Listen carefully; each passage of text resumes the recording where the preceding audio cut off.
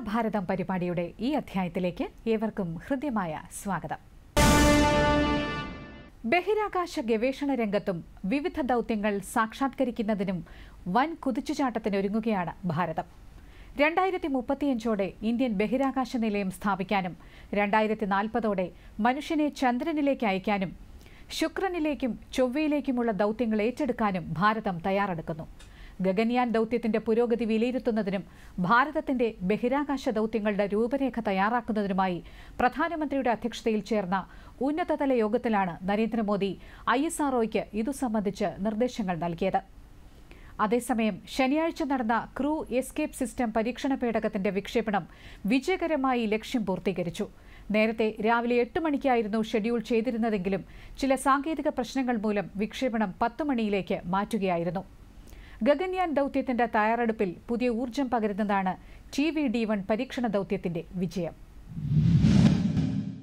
three, two, one, zero.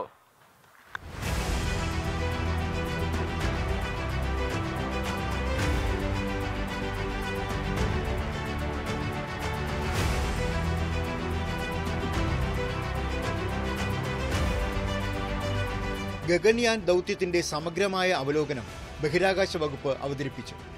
ഇതുവരെ വികസിപ്പിച്ചെടുത്ത വിവിധ സാങ്കേതിക വിദ്യകൾ മനുഷ്യനെ ബഹിരാകാശത്ത് എത്തിക്കുന്നതിനുള്ള വിക്ഷേപണ വാഹനങ്ങൾ സംവിധാനങ്ങളുടെ ഗുണനിലവാരം എന്നിവയുൾപ്പെടെയുള്ള കാര്യങ്ങൾ യോഗത്തിൽ അവലോകനം ചെയ്തു. ഹ്യൂമൻ റേറ്റഡ് ലോഞ്ച് വെഹിക്കിളിന്റെ മൂന്ന് ആളില്ലാ ദൗത്യങ്ങൾ ഉൾപ്പെടെ ഇരുപതോളം പ്രധാന പരീക്ഷണങ്ങൾ ആസൂത്രണം ചെയ്തിട്ടുണ്ട്. ക്രൂ എസ്കേപ്പ് സിസ്റ്റം പരീക്ഷണ പേടകത്തിന്റെ ആദ്യ പ്രദർശന പറക്കൽ ദൗത്യത്തിന്റെ തയ്യാറെടുപ്പുകൾ വിലയിരുത്തിയ യോഗം രണ്ടായിരത്തി ഇരുപത്തി അഞ്ചിലാകും വിക്ഷേപണമെന്ന് സ്ഥിരീകരിച്ചു. അടുത്തിടെ ചന്ദ്രയാൻ രണ്ട് ദൗത്യം വിജയകരമായി പൂർത്തിയാക്കിയത് ഭാരതത്തിന്റെ ആത്മവിശ്വാസം ഉയർത്തിയിരുന്നു. ഇതിനു പിന്നാലെയാണ് രണ്ടായിരത്തി നാൽപ്പതാകുമ്പോഴേക്കും ഭാരതം ചന്ദ്രനിൽ മനുഷ്യനെ ഇറക്കുമെന്ന പ്രധാനമന്ത്രിയുടെ പ്രഖ്യാപനം. ശുക്രനിലേക്കുള്ള ദൗത്യവും ചൊവ്വയിൽ ഇറങ്ങാനുള്ള ദൗത്യവും ഉൾപ്പെടെ ഗ്രഹാന്തര ദൗത്യങ്ങൾക്കായി പ്രവർത്തിക്കാൻ ശാസ്ത്രജ്ഞന്മാരോട് പ്രധാനമന്ത്രി ആഹ്വാനം ചെയ്തു. ഈ കാഴ്ചപ്പാട് സാക്ഷാത്കരിക്കുന്നതിന് ബഹിരാകാശ വകുപ്പ് ചാന്ദ്ര പര്യവേഷണത്തിനായി മാർഗരേഖ വികസിപ്പിക്കും. ചന്ദ്രയാൻ ദൗത്യങ്ങളുടെ പരമ്പര അടുത്ത തലമുറ വിക്ഷേപണ വാഹനത്തിന്റെ വികസനം പുതിയ വിക്ഷേപണ തറയുടെ നിർമ്മാണം മനുഷ്യ കേന്ദ്രീകൃത ലബോറട്ടറികൾ സ്ഥാപിക്കൽ അനുബന്ധ സാങ്കേതിക വിദ്യകൾ തുടങ്ങിയവ ഇതിൽ ഉൾപ്പെടും. അതേസമയം ഗഗൻയാൻ മിഷന്റെ flight test vehicle abort mission ഒന്ന് അഥവാ ടി വി ഡി വണ്ണിന്റെ പരീക്ഷണ പറക്കൽ വിജയകരമായി പൂർത്തിയായി. ശ്രീഹരിക്കോട്ടയിലെ സതീഷ് ധവാൻ സ്പേസ് സെന്ററിൽ നിന്നായിരുന്നു വിക്ഷേപണം. Gaganyaan T V D one ദൗത്യത്തിന്റെ വിജയകരമായ നേട്ടത്തിൽ അതിയായ സന്തോഷമുണ്ടെന്ന് ഐ എസ് ആർഒ മേധാവി എസ് സോമനാഥ് പറഞ്ഞു. Very happy to announce the successful accomplishment of the TV D1 mission. The purpose of this mission was to demonstrate the crew escape system for the Gaganyaan program through a test vehicle demonstration in which the vehicle has gone up to a uh, Mach number, which is the speed of sound, slightly above that, and initiated a, an abort condition for the crew escape system to function. Uh, it uh, took the crew escape system took the crew module away from the vehicle and uh, subsequent operations of the crew module separation from the crew escape system all the parachutes opening and touched down on in the sea at the required velocity has been very well ac- accomplished and we have got confirmation of the data of all of this D one പരീക്ഷണ പറക്കലിൽ ആളില്ലാ crew module ബഹിരാകാശത്തേക്ക് വിക്ഷേപിക്കുകയും ഭൂമിയിലേക്ക് തിരികെ കൊണ്ടുവരികയും ബംഗാൾ ഉൾക്കടലിൽ സ്പർശിച്ചതിന് ശേഷം വീണ്ടെടുക്കുകയും ചെയ്തു Indian നേവിയിൽ നിന്നുള്ള ഒരു പ്രത്യേക കപ്പലും ഡൈവിംഗ് ടീമും സമുദ്രത്തിൽ നിന്ന് മൊഡ്യൂൾ വീണ്ടെടുത്ത് തുടർ പഠനങ്ങൾക്കായി ഐ എസ് ആർഒയ്ക്ക് കൈമാറി. ഭാവിയിലെ മനുഷ്യ ബഹിരാകാശ ദൗത്യത്തിനായുള്ള വാഹനത്തിന്റെ സുരക്ഷിതത്വം ആണ് ഈ പരീക്ഷണം തെളിയിച്ചത്. വിജയകരമായി പൂർത്തിയായ ഈ അബോട്ട് ദൗത്യത്തിൽ ഒറ്റഘട്ട ലിക്വിഡ് റോക്കറ്റാണ് പരീക്ഷണ വാഹനം പേലോഡുകളിൽ crew module crew escape system എന്നിവയും ക്രൂ മൊഡ്യൂൾ ഫയറിംഗും ഇന്റർഫേസ് അഡോപ്റ്ററുകളും ഉൾപ്പെടുന്നു. ഭാവിയിലെ മനുഷ്യ ദൗത്യത്തിൽ എന്തെങ്കിലും സാഹചര്യത്തിൽ പ്രശ്നമുണ്ടായാൽ ഭൂമിയിലേക്ക് രക്ഷപ്പെടാനുള്ള സംവിധാനമാണ് ഈ അബോട്ട് ദൗത്യം. ക്രൂ എസ്കേപ്പ് സിസ്റ്റത്തിന്റെ ഭാഗമായ ഡ്രോഗ് പാരച്യൂട്ടിന്റെ പരീക്ഷണം ഓഗസ്റ്റിൽ വിജയകരമായി പൂർത്തിയാക്കിയിരുന്നു. ഭൂമിയിലേക്ക് തിരിച്ചിറങ്ങുന്ന സമയത്ത് ബഹിരാകാശ യാത്രികർ ഇരിക്കുന്ന പേടകത്തിന്റെ സഞ്ചാരം നിയന്ത്രിക്കുന്നതിനും വേഗം നിയന്ത്രിക്കുന്നതിനും നിർണായകമാണ് ഡ്രോഗ് പാരച്യൂട്ട്. ബഹിരാകാശ യാത്രികർ ഇരിക്കുന്ന സർവീസ് മൊഡ്യൂളിനെ നിയന്ത്രിക്കുന്ന സർവീസ് മൊഡ്യൂൾ പ്രൊപ്പൽഷൻ സംവിധാനത്തിന്റെ രണ്ട് പരീക്ഷണങ്ങൾ ജൂലൈയിൽ വിജയകരമായി നടത്തിയിരുന്നു. ഇവയ്ക്കൊപ്പം അബോട്ട് ദൗത്യത്തിന്റെ കൂടി വിജയത്തോടെ ഗഗൻയാൻ മിഷനിലൂടെ നമ്മുടെ ആത്മവിശ്വാസം വർദ്ധിക്കുകയാണ്.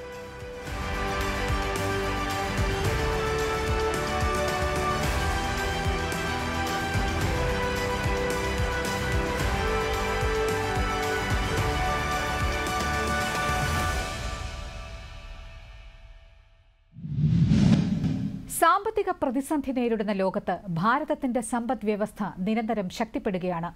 ലോകത്തിലെ ഏറ്റവും മികച്ച സമ്പദ് വ്യവസ്ഥയുള്ള രാജ്യമായി ഭാരതം മാറുന്ന ദിവസം വിദൂരമല്ല.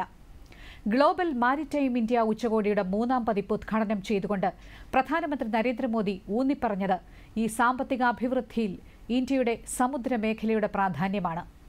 അമൃത്കാൽ വിഷൻ രണ്ടായിരത്തി നാൽപ്പത്തിയേഴ് ലക്ഷ്യമിട്ട് പതിനെണ്ണായിരം കോടിയിലധികം രൂപയുടെ ഇരുപത്തിയൊന്ന് തുറമുഖ അനുബന്ധ പദ്ധതികൾക്കാണ് ചടങ്ങിൽ പ്രധാനമന്ത്രി തുടക്കം കുറിച്ചത്.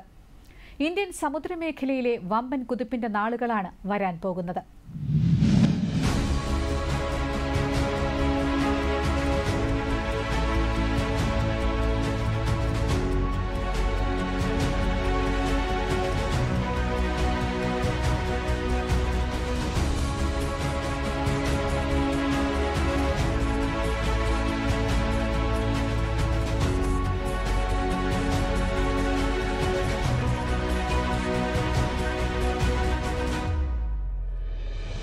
ഇന്ന് ഒരു പുതിയ ലോകക്രമം രൂപപ്പെടുകയാണ്.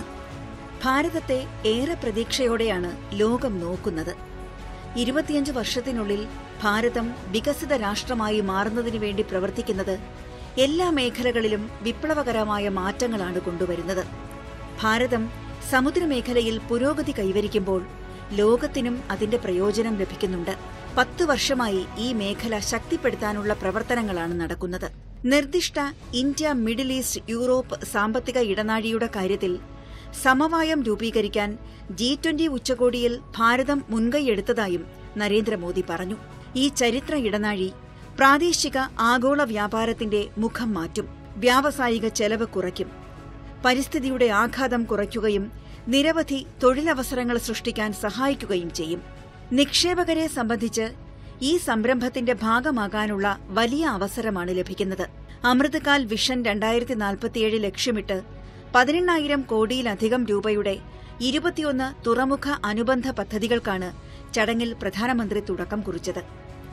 ഇന്ത്യ മിഡിൽ ഈസ്റ്റ് യൂറോപ്പ് സാമ്പത്തിക ഇടനാഴിയെ സഹായിക്കുന്നതിനായാണ് ഗുജറാത്തിലെ ട്യൂന ടെക്രയിൽ ദീൻദയാൽ തുറമുഖ അതോറിറ്റിയിൽ നാലായിരത്തി അഞ്ഞൂറ്റി മുപ്പത്തിയൊൻപത് കോടി രൂപ ചെലവിൽ നിർമ്മിക്കുന്ന all weather deep draft container ടെർമിനലിന്റെ ശിലാസ്ഥാപനവും അദ്ദേഹം നിർവഹിച്ചത്. ഇന്ത്യയുടെ സമുദ്രശേഷി എല്ലായ്പ്പോഴും ലോകത്തിന് ഗുണം ചെയ്തിട്ടുണ്ട് എന്നതിന് ചരിത്രം സാക്ഷിയാണെന്ന് പ്രധാനമന്ത്രി പറഞ്ഞു. കഴിഞ്ഞ ഏതാനും വർഷങ്ങളായി ഈ മേഖലയ്ക്ക് കരുത്തേകുന്നതിനായി കൈക്കൊണ്ട ചിട്ടയോടെയുള്ള നടപടികൾ പ്രധാനമന്ത്രി ചൂണ്ടിക്കാട്ടി.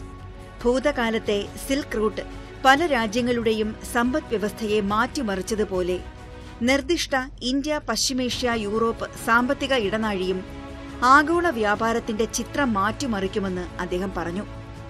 നെക്സ്റ്റ് ജനറേഷൻ മെഗാ തുറമുഖം അന്താരാഷ്ട്ര കപ്പൽ വിനിമയ തുറമുഖം ദ്വീപ് വികസനം ഉൾനാടൻ ജലപാതകൾ ബഹുതല ഹബ്ബ് എന്നിവ ഇതിനു കീഴിൽ ഏറ്റെടുക്കും. ഇത് വ്യാവസായിക ചെലവും പരിസ്ഥിതി നാശവും കുറയ്ക്കുന്നതിനും ലോജിസ്റ്റിക്സ് കാര്യക്ഷമത മെച്ചപ്പെടുത്തുന്നതിനും തൊഴിലവസരങ്ങൾ സൃഷ്ടിക്കുന്നതിനും കാരണമാകും. നിക്ഷേപകർക്ക് ഈ യജ്ഞത്തിന്റെ ഭാഗമാകാനും ഇന്ത്യയ്ക്കൊപ്പം ചേരാനും മികച്ച അവസരമുണ്ടെന്ന് പ്രധാനമന്ത്രി ആവർത്തിച്ചു. അടുത്ത ഇരുപത്തിയഞ്ച് വർഷത്തിനുള്ളിൽ വികസിത രാഷ്ട്രമായി മാറാനുള്ള ദൃഢനിശ്ചയം നിറവേറ്റാനാണ് ഇന്നത്തെ ഇന്ത്യ പ്രവർത്തിക്കുന്നത്. എല്ലാ മേഖലയിലും വിപ്ലവകരമായ മാറ്റങ്ങൾ ഗവൺമെന്റ് കൊണ്ടുവരുന്നുണ്ട്. കഴിഞ്ഞ ദശകത്തിൽ ഇന്ത്യയിലെ പ്രധാന തുറമുഖങ്ങളുടെ ശേഷി ഇരട്ടിയായി. വലിയ കപ്പലുകളുടെ ടേൺ അറൌണ്ട് സമയം രണ്ടായിരത്തി പതിനാലിലെ നാൽപ്പത്തിരണ്ട് മണിക്കൂറിനെ അപേക്ഷിച്ച് ഇരുപത്തിനാല് മണിക്കൂറിൽ താഴെയായി കുറഞ്ഞു. പുതിയ റോഡുകളുടെ നിർമ്മാണത്തിൽ പല മടങ്ങ് വർധന രേഖപ്പെടുത്തി. തുറമുഖ സൗകര്യം വർദ്ധിപ്പിക്കുന്നതിനും തീരദേശ അടിസ്ഥാന സൗകര്യങ്ങൾ ശക്തിപ്പെടുത്തുന്നതിനുമായുള്ള സാഗർമാല പദ്ധതി വമ്പിച്ച മാറ്റങ്ങൾ കൊണ്ടുവന്നു. ഈ ശ്രമങ്ങൾ തൊഴിലവസരങ്ങളും ജീവിത സൗകര്യങ്ങളും ഒരുപോലെ വർദ്ധിപ്പിക്കുന്നു. കപ്പൽ നിർമ്മാണ അറ്റകുറ്റപ്പണി മേഖലകളിൽ ഗവൺമെന്റ് ഊന്നൽ നൽകുകയാണ്. തദ്ദേശീയ വിമാനവാഹിനി കപ്പൽ ഐ എൻ എസ് വിക്രാന്ത് ഇന്ത്യയുടെ ഈ രംഗത്തെ ശേഷിയുടെ തെളിവാണ്. വരാനിരിക്കുന്ന ദശകത്തിൽ കപ്പൽ നിർമ്മാണത്തിൽ ഏറ്റവും മികച്ച അഞ്ച് രാജ്യങ്ങളിൽ ഒന്നായി ഇന്ത്യ മാറും.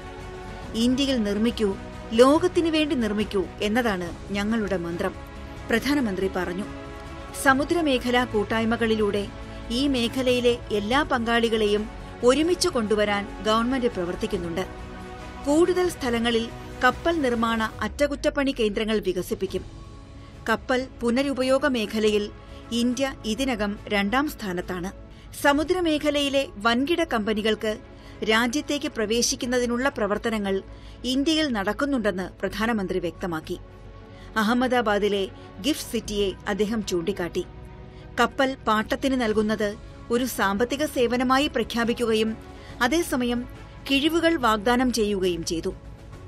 ലോകത്തിലെ നാല് ആഗോള കപ്പൽ പാട്ട കമ്പനികൾ ഗിഫ്റ്റ് ഐ എഫ് എസ് സിയിൽ രജിസ്റ്റർ ചെയ്തു. ഈ ഉച്ചകോടിയിൽ പങ്കെടുത്ത കപ്പൽ പാട്ടത്തിന് കൊടുക്കുന്ന മറ്റ് കമ്പനികളോടും അദ്ദേഹം A gift I F S സിയിൽ ചേരാൻ ആഹ്വാനം ചെയ്തു. മാരിടൈം ടൂറിസത്തിന് പുതിയ സാധ്യതകൾ സൃഷ്ടിക്കുന്ന വിശാലമായ തീരപ്രദേശവും മാരിടൈം ടൂറിസത്തിന് പുതിയ സാധ്യതകൾ സൃഷ്ടിക്കുന്ന വിശാലമായ തീരപ്രദേശവും ശക്തമായ നദീതട ആവാസ വ്യവസ്ഥയും സമ്പന്നമായ സാംസ്കാരിക പൈതൃകവും ഇന്ത്യയ്ക്കുണ്ട്. ലോക പൈതൃകമായ ഇന്ത്യയിലെ ഏകദേശം അയ്യായിരം വർഷം പഴക്കമുള്ള ലോത്തൽ ഡോക്യാർഡിനെ അദ്ദേഹം പരാമർശിച്ചു. കപ്പൽ യാത്രയുടെ തൊട്ടിൽ എന്നാണ് അതിനെ അദ്ദേഹം പരാമർശിച്ചത്. ഈ ലോക പൈതൃകം സംരക്ഷിക്കുന്നതിനായി മുംബൈക്ക് സമീപമുള്ള ലോത്തലിൽ ദേശീയ സമുദ്രമേഖല പൈതൃക സമുച്ചയം നിർമ്മിക്കുകയാണ്. ഇന്ത്യയിൽ സമുദ്ര ടൂറിസം പ്രോത്സാഹിപ്പിക്കുന്നതിനായുള്ള ലോകത്തിലെ ഏറ്റവും ദൈർഘ്യമേറിയ റിവർ ക്രൂസ് സർവീസിനെക്കുറിച്ചും പ്രധാനമന്ത്രി പറഞ്ഞു. മുംബൈയിൽ വരാൻ പോകുന്ന അന്താരാഷ്ട്ര ക്രൂസ് ടെർമിനലിനെക്കുറിച്ചും വിശാഖപട്ടണം ചെന്നൈ എന്നിവിടങ്ങളിലെ ആധുനിക ക്രൂസ് ടെർമിനലുകളെക്കുറിച്ചും അദ്ദേഹം അറിയിച്ചു. സമുദ്രമേഖലയുമായി ബന്ധപ്പെട്ട രാജ്യത്തെ ഏറ്റവും വലിയ ഉച്ചകോടിയാണ് മുംബൈയിൽ സംഘടിപ്പിച്ചത്. യൂറോപ്പ് ആഫ്രിക്ക തെക്കേ അമേരിക്ക ഏഷ്യ രാജ്യങ്ങളിൽ നിന്നുൾപ്പെടെ ലോകമെമ്പാടുമുള്ള മന്ത്രിമാരുടെ പങ്കാളിത്തത്തിന് ഉച്ചകോടി സാക്ഷ്യം വഹിച്ചു.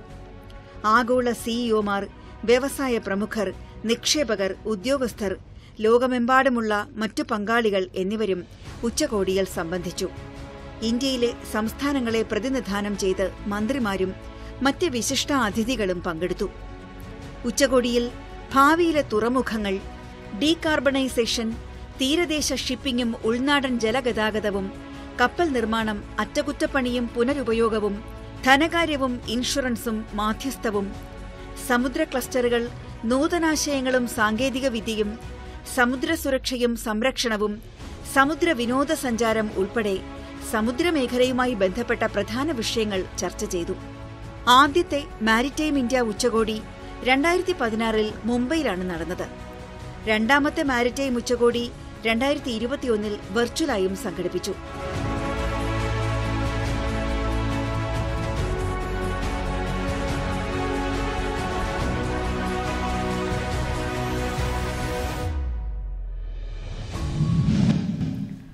നാൽപ്പത് വർഷങ്ങൾക്ക് ശേഷം ഇന്ത്യ ആതിഥേയത്വം വഹിച്ച അന്താരാഷ്ട്ര ഒളിമ്പിക് കമ്മിറ്റി യോഗം കായികരംഗത്ത് ഇന്ത്യയുടെ വളർന്നുവരുന്ന സ്വാധീനത്തിന്റെ കൂടി തെളിവായി മാറി.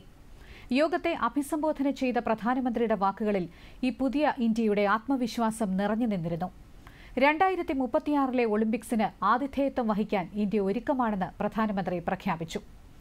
രണ്ടായിരത്തി ഇരുപത്തിയെട്ടിൽ ലോസ് ഏഞ്ചൽസിൽ നടക്കുന്ന ഒളിമ്പിക്സിൽ ക്രിക്കറ്റ് കൂടി ഒരിനമായി ഉൾപ്പെടുത്താൻ ഒളിമ്പിക്സ് കമ്മിറ്റി തീരുമാനിച്ചതിലും ഇന്ത്യൻ സ്വാധീനം പ്രകടമായിരുന്നു सबके सामने 140 करोड़ भारतवासियों की भावना जरूर रखना चाहूंगा भारत अपनी धरती पर ओलंपिक्स का आयोजन करने के लिए बहुत उत्साहित है നൂറ്റി നാൽപ്പത് കോടി ജനങ്ങളുടെ സ്വപ്നം നിറവേറ്റാനുള്ള തയ്യാറെടുപ്പിലാണ് ഭാരതമെന്ന് പ്രധാനമന്ത്രി നരേന്ദ്രമോദി പറഞ്ഞു ഒളിമ്പിക്സിന് ഇന്ത്യയെ വേദിയാക്കുക എന്നതാണ് ആ ലക്ഷ്യം രണ്ടായിരത്തി മുപ്പത്തിയാറിലെ ഒളിമ്പിക്സിന്റെ വിജയകരമായ സംഘാടനത്തിനുള്ള തയ്യാറെടുപ്പിന് ഇന്ത്യ സാധ്യമായതെല്ലാം ചെയ്യും ആ സ്വപ്നത്തിന്റെ സാക്ഷാത്കാരത്തിലേക്ക് ഇന്ത്യ എത്തുക തന്നെ ചെയ്യും രണ്ടായിരത്തി ഇരുപത്തി ഒൻപതിൽ നടക്കുന്ന യൂത്ത് ഒളിമ്പിക്സിന് ആതിഥേയത്വം വഹിക്കാനും ഇന്ത്യയ്ക്ക് താൽപര്യമുണ്ടെന്ന് പ്രധാനമന്ത്രി അറിയിച്ചു.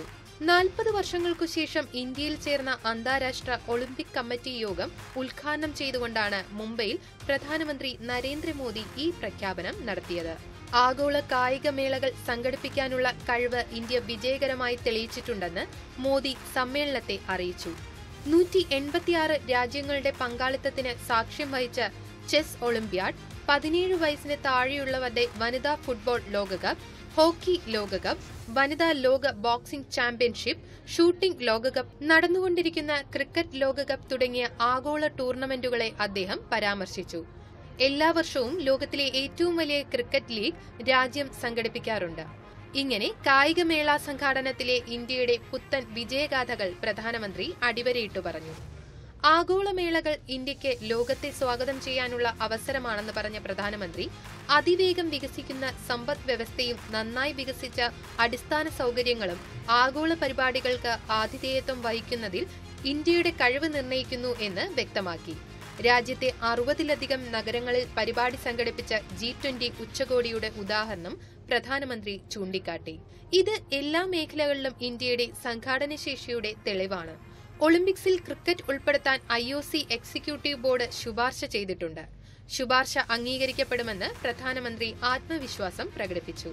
പിന്നീട് നടന്ന യോഗത്തിലെ വോട്ടെടുപ്പിൽ വൻ മാർജിനൽ ക്രിക്കറ്റ് രണ്ടായിരത്തി ഇരുപത്തിയെട്ടിലെ ഒളിമ്പിക്സിൽ ക്രിക്കറ്റ് ഒരിനമായി ഉൾപ്പെടുത്താൻ ഐ ഒ സി തീരുമാനിച്ചു.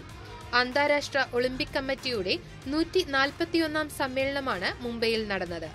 ഇത് രണ്ടാം തവണയാണ് ഇന്ത്യ ഐ യോഗത്തിന് ആതിഥേയത്വം വഹിക്കുന്നത്. ഐ ഒ സിയുടെ എൺപത്തിയാറാമത് യോഗം ആയിരത്തി തൊള്ളായിരത്തി എൺപത്തി മൂന്നിൽ ന്യൂഡൽഹിയിൽ ചേർന്നിരുന്നു. ലോക കായിക മേഖലയെ സംബന്ധിച്ച് വളരെ സുപ്രധാനമായ യോഗമായിരുന്നു മുംബൈയിലേത്.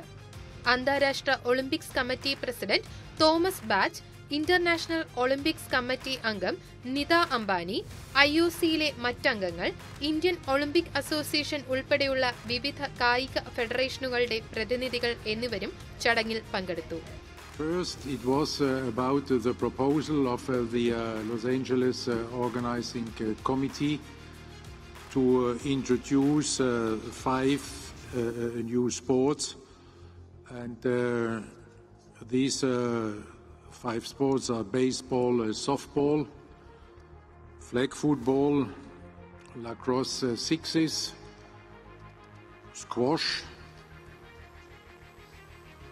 and cricket. These uh, proposals have been accepted as a package by the IOC Executive uh, Board. അഹമ്മദാബാദിലെ ലോകത്തിലെ ഏറ്റവും വലിയ സ്റ്റേഡിയത്തിൽ നടന്ന ലോകകപ്പ് ക്രിക്കറ്റ് മത്സരത്തിൽ ആർപ്പുവിളികളുടെ മുഴക്കത്തിനിടയിൽ ഇന്ത്യ നേടിയ വിജയത്തെക്കുറിച്ച് ഐ ഒ സി അംഗങ്ങളെ അറിയിച്ചുകൊണ്ടാണ് പ്രധാനമന്ത്രി സമ്മേളനത്തെ അഭിസംബോധന ചെയ്തത് ഈ ചരിത്ര വിജയത്തിൽ ടീം ഭാരതത്തിനെയും ഓരോ ഇന്ത്യക്കാരനെയും ഞാൻ അഭിനന്ദിക്കുന്നു അദ്ദേഹം പറഞ്ഞു. ഇന്ത്യയുടെ സംസ്കാരത്തിന്റെയും ജീവിത രീതിയുടെയും സുപ്രധാന ഭാഗമാണ് കായിക വിനോദമെന്ന് മോദി പറഞ്ഞു. ഇന്ത്യയിലെ ഗ്രാമങ്ങളിൽ പോകുമ്പോൾ കായിക മത്സരങ്ങളില്ലെങ്കിൽ ഏതൊരു ഉത്സവവും അപൂർണമായി തുടരുന്നത് കാണാൻ കഴിയും. ഇന്ത്യക്കാർ വെറും കായിക പ്രേമികൾ മാത്രമല്ല നാം അതിൽ ജീവിക്കുന്നവരുമാണ്. ആയിരക്കണക്കിന് വർഷത്തെ പഴക്കമുള്ള ഇന്ത്യയുടെ ചരിത്രത്തിലൂടെ കായിക സംസ്കാരം പ്രതിഫലിക്കുന്നുണ്ട്. കുതിരസവാരി നീന്തൽ അമ്പെയ്ത്ത് ഗുസ്തി എന്നിവയുൾപ്പെടെ അറുപത്തിനാല് ഇനങ്ങളിൽ ഭാരതത്തിലെ കായിക താരങ്ങൾ പ്രാവീണ്യം നേടിയിരിക്കുന്നതായി ആയിരക്കണക്കിന് വർഷങ്ങൾക്ക് മുമ്പ് എഴുതിയ ഗ്രന്ഥങ്ങളിൽ പരാമർശിച്ചിട്ടുണ്ട്. കായിക വിനോദമായ അമ്പെയ്ത്ത് പഠിക്കാനുള്ള നിയമഗ്രന്ഥമായി പ്രസിദ്ധീകരിച്ചിരുന്ന ധനുർവേദ സംഹിത ധനുഷ്വൻ ചക്ര ഭാല വാൾപയറ്റ് കഠാര ഗദ ഗുസ്തി എന്നീ ഏഴ് നിർബന്ധിത നൈപുണ്യങ്ങൾ അമ്പെയ്ത്ത് പഠിക്കുന്നതിന് മുന്നുപാധികളായി പരാമർശിച്ചിരുന്നുവെന്നും പ്രധാനമന്ത്രി നരേന്ദ്രമോദി പറഞ്ഞു. യുനെസ്കോ ലോക പൈതൃക സ്ഥലമായി അംഗീകരിച്ച ദോലവീരയെക്കുറിച്ച് പ്രധാനമന്ത്രി പരാമർശിച്ചു. അയ്യായിരം വർഷം പഴക്കമുള്ള ഈ നഗരത്തിന്റെ നഗരാസൂത്രണത്തിലെ കായിക അടിസ്ഥാന സൗകര്യങ്ങൾ അത്ഭുതപ്പെടുത്തുന്നതാണ്. ഉത്ഖനനത്തിൽ കണ്ടെത്തിയ രണ്ട് സ്റ്റേഡിയത്തിലൊന്ന് അക്കാലത്തെ ലോകത്തിലെ ഏറ്റവും പഴക്കമേറിയതും വലുതുമായ സ്റ്റേഡിയമായിരുന്നു. അതുപോലെ രാഖി ഗർഹിയിൽ കായികവുമായി ബന്ധപ്പെട്ട ഘടനകളും കണ്ടെത്തിയിട്ടുണ്ട്. ഇന്ത്യയുടെ ഈ കായിക പാരമ്പര്യം ലോകത്തിനാകെ അവകാശപ്പെട്ടതാണ്.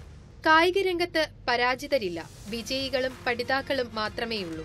കായിക രംഗത്തിന്റെ ഭാഷയും ആത്മാവും സാർവത്രികമാണ്. കായിക വിനോദം വെറും മത്സരമല്ല കായിക രംഗം മനുഷ്യരാശിക്ക് വികസിക്കാനുള്ള അവസരം നൽകുന്നു പ്രധാനമന്ത്രി മോദി പറഞ്ഞു स्पोर्ट्स हमारे वसुधैव कुटुंबकम यानी one earth one family one future के भाव को भी सशक्त करता है इसलिए हमारी सरकार हर स्तर पर खेल को बढ़ावा देने के लिए പൂരി പ്രതിബദ്ധത കാം കർ രഹി ഹൈ ഇന്ത്യ കായിക രംഗത്തെ വികസനത്തിന് പ്രത്യേക കരുതൽ നൽകുന്നു. Khelo India games Khelo India youth games Khelo India winter games parliament അംഗ കായിക മത്സരങ്ങൾ വരാനിരിക്കുന്ന ഖേലോ ഇന്ത്യ പാരാ ഗെയിംസ് എന്നിവ അദ്ദേഹം ചൂണ്ടിക്കാട്ടി. കായിക ലോകത്ത് ഇന്ത്യയുടെ തിളക്കമാർന്ന പ്രകടനത്തിനുള്ള ശ്രമങ്ങളെ പ്രധാനമന്ത്രി പ്രശംസിച്ചു. ഇന്ത്യയിൽ കായിക മേഖലയുടെ ദ്രുതഗതിയിലുള്ള സമഗ്ര പരിവർത്തനത്തിന്റെ അടയാളമാണ് ഈ നല്ല കുതിപ്പുകൾ. മെഡലുകൾ നേടാനുള്ളതു മാത്രമല്ല കായിക മത്സരങ്ങൾ. മറിച്ച് ഹൃദയങ്ങൾ കീഴടക്കാനുള്ള മാധ്യമമാണ്. കായികം എല്ലാവർക്കും അവകാശപ്പെട്ടതാണ്. ഇത് ചാമ്പ്യന്മാരെ ഒരുക്കുക മാത്രമല്ല സമാധാനവും പുരോഗതിയും ആരോഗ്യവും പ്രോത്സാഹിപ്പിക്കുകയും ചെയ്യുന്നു. അതിനാൽ ലോകത്തെ ഒന്നിപ്പിക്കുന്ന മറ്റൊരു മാധ്യമമാണ് കായികരംഗം. പ്രധാനമന്ത്രി നരേന്ദ്രമോദിയുടെ വാക്കുകൾ ഹർഷാരവത്തോടെയാണ് സദസ് ഏറ്റെടുത്തത്.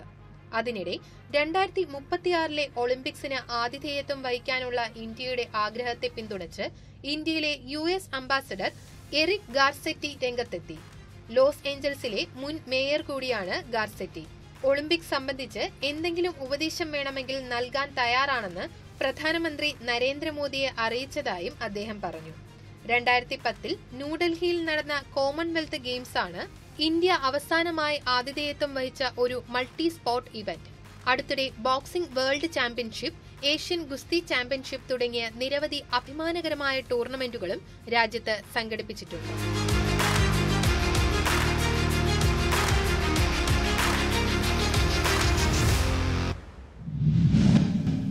കേന്ദ്ര സർക്കാരിന്റെ ഗ്രാമീണ സ്വയം തൊഴിൽ പരിശീലന പദ്ധതിയിലൂടെ പരിശീലനം പൂർത്തീകരിച്ച ഇടുക്കി ചിന്നക്കനാൽ ഗ്രാമപഞ്ചായത്തിലെ മുട്ടുകാട് എ ഡി എസ് അംഗങ്ങൾ പേപ്പർ ക്യാരി ബാഗ് നിർമ്മാണത്തിലൂടെ സ്വയം തൊഴിൽ സംരംഭകരാകും. ചിന്നക്കനാൽ ഗ്രാമപഞ്ചായത്തിലെ മുട്ടുകാട് എ ഡി എസ് അംഗങ്ങൾ ഇനി സ്വയം തൊഴിലിലൂടെ നാടിന്റെ അഭിമാനമായി മാറും. പേപ്പർ ക്യാരി ബാഗ് നിർമ്മാണത്തിലൂടെയാണ് ഇവർ സ്വയം തൊഴിൽ കണ്ടെത്തിയത്. യുവ സംരംഭകരെ കണ്ടെത്തി അവർക്ക് പരിശീലനവും പ്രോത്സാഹനവും നൽകുക കുടുംബശ്രീ അംഗങ്ങളെയും സ്ത്രീകളെയും സ്വയം പര്യാപ്തതയിലെത്തിക്കുക സാമ്പത്തിക ഉന്നമനത്തിനുള്ള തൊഴിൽ പരിശീലനം നൽകുക വിവിധ സംരംഭങ്ങളിലൂടെ പുരോഗതി കൈവരിക്കുക തുടങ്ങിയ ലക്ഷ്യങ്ങളോടെ കേന്ദ്ര സർക്കാരിന്റെ ദേശീയ ഉപജീവന ദൌത്യം പദ്ധതിയുടെ ഭാഗമായാണ് ഗ്രാമീണ സ്വയം തൊഴിൽ പരിശീലന കേന്ദ്രത്തിന്റെ നേതൃത്വത്തിൽ വീട്ടമ്മമാർക്കായി ക്ലാസുകൾ സംഘടിപ്പിച്ചത്. യുവാക്കളെയും യുവതികളെയും സ്വയം തൊഴിൽ സംരംഭങ്ങൾ തുടങ്ങാൻ പ്രാപ്തരാക്കുക എന്നതാണ് ഇതിന്റെ ലക്ഷ്യം. പേപ്പർ ക്യാരി ബാഗ് നിർമ്മാണത്തിലൂടെയാണ് ഇവർ സ്വയം തൊഴിൽ കണ്ടെത്തിയത്. ഗുണകരമാണോ എന്ന് വെച്ചാൽ ഞങ്ങൾക്ക് ആർക്കും ഇങ്ങനെ ഈ പേപ്പറിന്റെ പ്രൊഡക്ട്സും കാര്യങ്ങളും ഒന്നും ഉണ്ടാക്കാൻ അറിയത്തില്ലായിരുന്നു. നമ്മൾ ബേക്കറിയിൽ നിന്നും ഗ്രോസറി ഷോപ്പുകളിൽ നിന്നും കിട്ടുന്ന കവറുകൾ എങ്ങനെയാണെന്ന് പോലും അറിയത്തില്ലായിരുന്നു. ആ ഞങ്ങൾ ഇവിടെ ഒരു യൂണിറ്റ് സ്റ്റാർട്ട് ചെയ്യാൻ വേണ്ടിയിട്ടാണ് ഇരിക്കുന്നത്. അപ്പോൾ ആ യൂണിറ്റ് വഴി കുടുംബശ്രീയുടെ കീഴിൽ ഒരു യൂണിറ്റ് സ്റ്റാർട്ട് ചെയ്തിട്ട് ഇത് പേപ്പർ ബാഗ് മാത്രമല്ല എൻവലപ്പ് ഫയലുകൾ മുതലുള്ള വിൽക്കാൻ വേണ്ടിയിട്ടാണ് നോക്കുന്നത്. ഗ്രാമീണ സ്വയം തൊഴിൽ പരിശീലന കേന്ദ്രത്തിന്റെ സഹായത്തോടെ പേപ്പർ ബാഗ് എൻവലപ്പ് ഫയൽ നിർമ്മാണ പരിശീലനം നേടിയാണ് കുടുംബശ്രീ പ്രവർത്തകർ സ്വയം പര്യാപ്തതയിലെത്തിയത്. രണ്ട് ഘട്ടങ്ങളായാണ് പരിശീലന ക്ലാസുകൾ സംഘടിപ്പിച്ചത്. ഇവർക്ക് ഇവിടെ നമ്മൾ പേപ്പർ ബാഗ് ട്രെയിനിങ് ആണ്. പേപ്പർ ബാഗ് മുതൽ paper bag envelope file making എന്ന് പറയുന്ന മൂന്ന് പ്രൊഡക്റ്റുകൾ വെച്ച് ഏകദേശം ഇരുപത്തഞ്ചോളം പേപ്പർ പ്രൊഡക്റ്റുകളെ പറ്റിയാണ് നമ്മൾ ഈ ട്രെയിനിങ്ങിൽ ഉൾക്കൊള്ളിച്ചിരിക്കുന്നത്. അപ്പോൾ ഇത് കൂടാതെ നമുക്ക് ഇവർക്ക് വേണ്ട സംരംഭത്വമായിട്ട് ബന്ധപ്പെട്ട് വരുന്ന ഒരു ട്രെയിനിങ് പാറ്റേൺ നമുക്ക് ഇ ഡി പി എന്ന് പറഞ്ഞ ടോപ്പിക്കുകൾ നമ്മൾ എടുത്തു കൊടുക്കുന്നുണ്ട്. ഇത് കൂടാതെ നമുക്ക് രണ്ട് വർഷക്കാലത്തേക്ക് ഇവർക്ക് സംരംഭത്വമായിട്ട് ബന്ധപ്പെട്ട സഹായങ്ങൾ നമ്മൾ ചെയ്തു കൊടുക്കും. ഇത് നൂറ് ശതമാനം സൗജന്യമായിട്ട് വരുന്നൊരു ട്രെയിനിങ് പ്രോഗ്രാമാണ് സെൻട്രൽ ഗവൺമെന്റ് കീഴിൽ വരുന്ന ഒരു training ഇൻസ്റ്റിറ്റ്യൂട്ടാണ് rural self employment training institute എന്ന് പറയും. പേപ്പർ ഉപയോഗിച്ച് വാണിജ്യപരമായി ഇരുപത്തിയഞ്ചിനം ഉൽപ്പന്നങ്ങൾ നിർമ്മിക്കാനും വ്യവസായിക അടിസ്ഥാനത്തിൽ ഉൽപ്പന്നങ്ങൾ നിർമ്മിച്ച് വിപണിയിലെത്തിക്കാനുമുള്ള പരിശീലനമാണ് ഇവർക്ക് ലഭിച്ചത്. അമൃത ഭാരതത്തിന്റെ ഈ അധ്യായം ഇവിടെ പൂർണമാകുന്നു. കൂടുതൽ വിശേഷങ്ങളുമായി വരും ലക്കങ്ങളിൽ വീണ്ടും കാണാം. നന്ദി നമസ്കാരം.